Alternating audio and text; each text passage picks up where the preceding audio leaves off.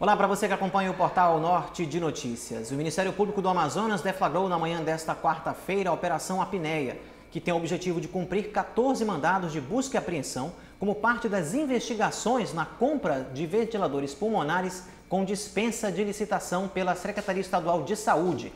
Mais informações você acompanha aqui no portal Norte de Notícias.